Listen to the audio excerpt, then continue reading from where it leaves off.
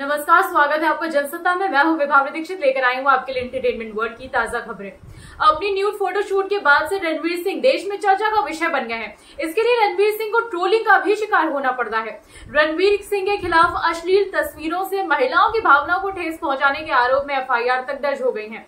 इसी बीच अर्जुन कपूर, जॉन इब्राहिम, परिणति चोपड़ा सहित कई बॉलीवुड सेलेब्स रणवीर सिंह के पक्ष में आए हैं। अब विद्या बालन ने भी रणवीर सिंह के न्यूड फोटोशूट पर खुलकर अपना, उनको समर्थन दिया है। इस मुद्दे पर इंडिया टुडे से बात करते हुए विद्या बालन ने कहा कि अगर किसी को ये पसंद नहीं है तो वो अपनी आँखें बंद कर ले।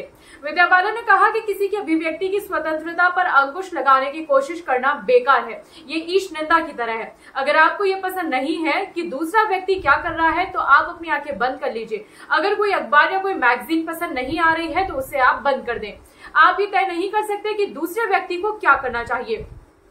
विद्या बालन के अलावा आलिया भट्ट ने भी रणवीर सिंह का पक्ष लिया और कहा था कि रणवीर उनके पसंदीदा हैं और उनके बारे में वो कही गई किसी भी निगेटिव बात को सहन नहीं कर सकती हैं।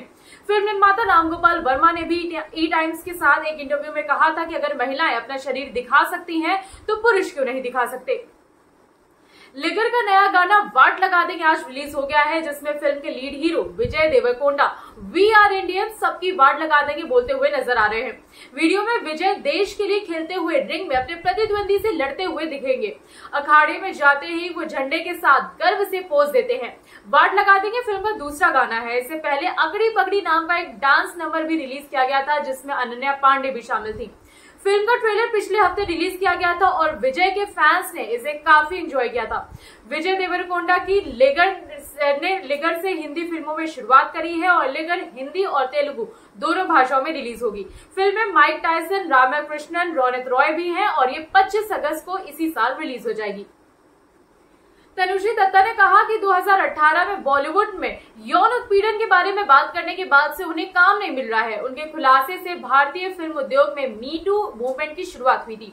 तनुश्री ने हाल ही में एक सोशल मीडिया पोस्ट भी अपलोड किया था, जिसकी कैसे लोग अब उन्हें फ़िल्मों में काम नहीं दे रहे हैं। एक्ट्रेस ने आज भी एक पोस्ट अपलोड करते हुए कहा कि बॉलीवुड माफिया वाले वही लोग हैं जिनके नाम सुशांत सिंह राजपूत की मौत के मामले में सामने आए थे।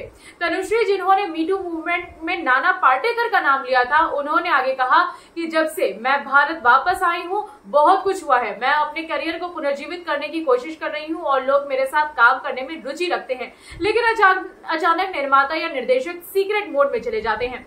2020 में तनुश्री ने कई सारी महिला कलाकारों को उनके ऊपर हुए यौन उत्पीड़न पर बात करने के लिए प्रोत्साहित किया था। इस दौरान बॉलीवुड की कई जाने मानी हस्तियों का नाम भी सामने आया था।